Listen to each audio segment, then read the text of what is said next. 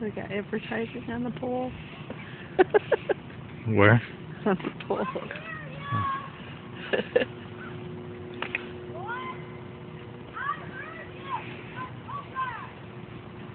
There's a kid way up on the hill.